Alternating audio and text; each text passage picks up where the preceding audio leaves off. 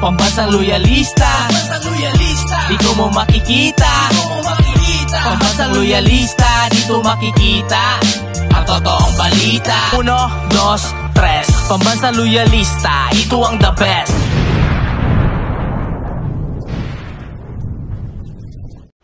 Masayang araw po, mga ka-PL. O eto na, ang isa sa pulisiya o hakbang na gagawin ng Pangulong Bongbong Marcos para maipagtanggol, maidepensa ang West Philippine Sea.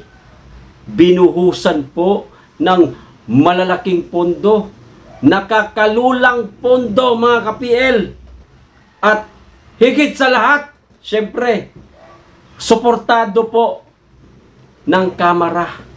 O eto po ang balita, basahin ko. Pero bago ko po simulan, makikisuyo sa mga hindi pa nakasubscribe. Baka naman. At pakiclick na rin po ang notification bell para updated sa lahat ng upload. At huwag nyo rin pong kalimutan. Palike na rin po sa video. Maraming salamat. Makikisuyo lang. The best talaga si PBBM mga ka-PL. Di nagpatumpik-tumpik. Gumawa agad ng polisiya. Ha? Hakbang para maipagtanggol po ang West Philippine Sea na inaangkin ng mga lintik ng mga Chekwa yan. o ayan o. Mm. Polisiya ni PBBM para idepensa West Philippine Sea.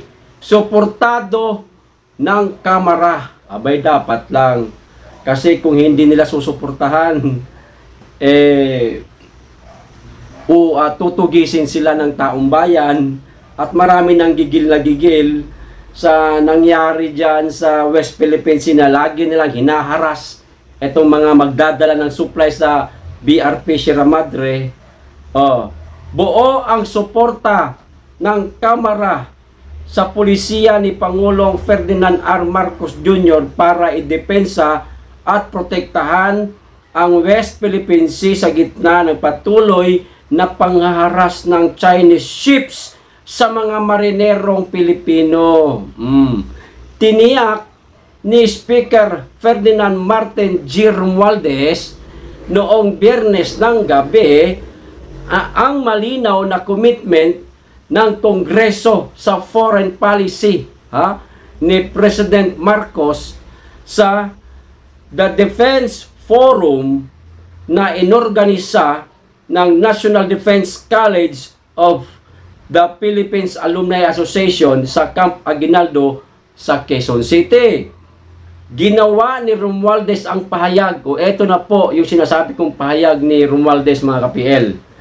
Ginawa ni Romualdez ang pahayag kasunod ng mga report na binomba ng water cannons ng China Coast Guard ships ang Pilipino resupply boats sa Ayungin Shoal. Anong ilalaban ng mga yun? Wala namang kargada yung bangka nila, yung barko nila, kundi puro mga supply lang, kaya yabang nitong mga lintik na mga Chinese na ito. Ano? Oh.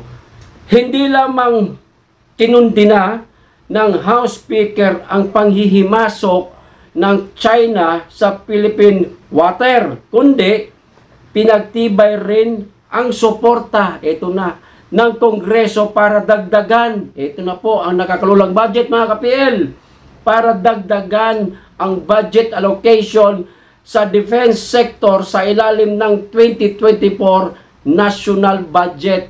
O basahin ko lang po itong isa sa mga pahayag ni Romualdez. Oh, Make no mistake about it. The House of Representatives fully support the position of President Ferdinand Marcos Jr. that we should continue to assert our sovereignty in the West Philippine Seas and that we should defend every inch of our territory. Sabi ni Romualdez na yan din ang sinabi ni Pangulong Bongbong Marcos mga ka-PL noong uh, kampanya pa lang. Di ba natanong siya minsan sa SMNI kung paano na eh, dedepensahan ang bansa kasi may sigalot na po nun eh. 'Di ba? May sigalot na nun ang ano eh, ang ah, China at ang ah, Pilipinas tungkol dyan sa West Philippine Sea. O ito yung isa sa mga naging sagot ni Pangulo na every inch ah, anya eh hindi niya ibibigay sa ibang bansa. No? Yan ang paninindigan ni PBBM. Ito pa, isa sa mga sinabi ni Romualdez. Pinuri ni Romualdez ang brave men and women in uniform na itinuturing niyang sentinels of sovereignty safeguarding our nation's territory against the ceaseless tides of adversity, mga kapiel. Ito na po, ha? Ito na ang mga malalaking halaga. Binuhusan po talaga ng malaking halaga ni Pangulo. At suportado nga po ito ng Kamara. Nakakalula po ang mga idinagdag na budget mga ka-PL. Mm, Basahin ko na rin. Under the proposed 2024 ah, budget, the allocation for the defense sector is oh, 282.7 billion. Wow! Or 21.6% more compared to the 203.4 billion allocation under the 2023 budget. Napakalaki ng itinaas mula po sa 200, ah, 203.4 billion naging 282.7 billion po mga kapiel. Kita nyo naman. Isa pa lang yan, ha? Isa pa lang yan.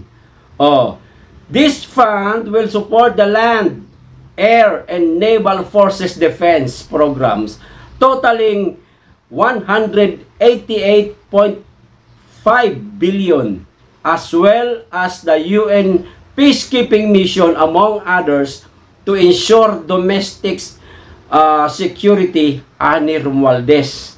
Hindi pa yan mga kapiel. Kala nyo tapos na? Meron pa. Sabi ko nga sa inyo eh, binuhusan talaga ng malaking pondo para siguradong ah, maprotektahan, madepensahan ang West Philippine Sea. At sana rin ano, maliban dito sa mga malaking pondo, kapag ka maghahatid ng supply sa BRP Sierra Madre, sana naman sabayan po yung maliit na bangka na yan ng isang PCG lang. Iba kasi kapag ka may PCG, di ba, kasabay nung magdadala ng supply. Kahit papaano, magkakaroon ng takot itong mga chekwang bulok. No, sana lang. Kasi pinababayaan po mag-isa. Ay ano pong laban yan? Wala naman pong kargada yan. Hindi naman ibig sabihin kargada para makipagbarilan tayo. Hindi. Kahit papaano ba? Depensa. Depensa. Kung sakasakali man. Ba? Na may nakaambang panganib. Kahit papaano. Makakadepensa. Eh kung yan lang sila. Yung maghatid lang ng supply. Eh mga civilian lang naman yan eh. Eh wala talagang laban. Haharasin lang talaga. Bubuluhin lang talaga. Pero samantalang kung may kasamang PCG, kita paano siguro, matatakot yan sila. Every time na maghahatid ng uh, supply, sana ganun mga kapil, no? Oh, panawagan lang natin yan sa Pangulo. Sana mapakinggan tayo. Ano po? Oh, this amount does not include ah, 1.23 billion worth of confidential and intelligence funds which the House of Representatives realigned to the frontline agencies in charge of ensuring national security and protecting the country's territorial rights in the West Philippine Sea. Dagdag pa niya.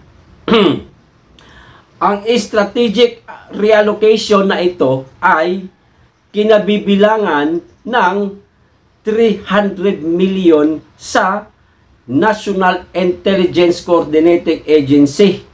Aha. 100 million sa National Security Council. Okay. 200 million sa Philippine Coast Guard para sa intelligence activities and ammunition. Hmm. Hmm. Ayos. Walang bakbakan ha. Pero kailangan pa rin po nila ng ammunition. Siyempre, depensa nga eh. O, halimbawa, kung may nag-aambang panganib, edi kahit pa paano. Di ba? Pero wag naman sanang mangyari. Siyempre, dapat iwasan yan para hindi lumaki ang gulo. Baka kung saan pa mapunta yan, madamay ang buong bansa na loko na. O, ito pa. At ah, 381.3 million sa the Department of Transport, Transportation para sa development o expansion ng Pag-asa, Pag-asa Island Airport mga ka-PL. So, pagagandahin pa po yung Pag-asa Island.